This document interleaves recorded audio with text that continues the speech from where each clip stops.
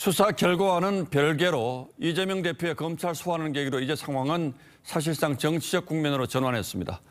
야당이 지금의 국면을 정치 탄압으로 규정한 이상 국회로 체포영장이 넘어와도 막아설 가능성이 높아졌고 이 대표가 앞으로 재판을 받으러 법원에 나온다면 그 역시 최대한 탄압받는 모양새로 끌고 갈 겁니다. 이 점에서 보면 검찰이 비록 칼자루를 잡고 있다고는 해도 쉬운 승부는 안 될 가능성이 높습니다. 추가 조사 시점 고민에 들어간 검찰의 상황은 주원진 기자가 취재했습니다. 검찰은 당초 이재명 대표 측에게 평일인 내일이나 모레 다시 나와줄 것을 요청했습니다. 이 대표 측은 이번에도 당 업무 때문에 평일은 힘들고 주말에 출석하겠다는 입장입니다.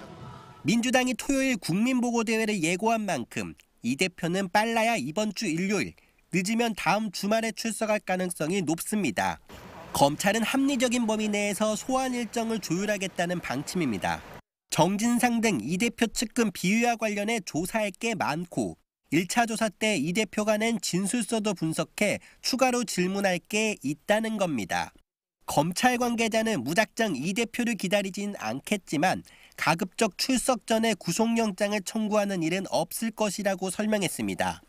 검찰 2차 조사는 대장동 민간업자 김만배 씨가 이 대표 측에 약속한 428억 원 뇌물 존재와 정진상, 김용 등에게 유입된 대장동 팀 자금이 선거에 쓰였는지 또 이를 이 대표가 알았는지가 핵심이 될 것으로 보입니다. 30페이지가 넘는 진술서를 냈고 자세한 설명을 하는 것이 무익했기 때문에 진술서로 답을 가름한다고 제가 말씀을 드렸습니다.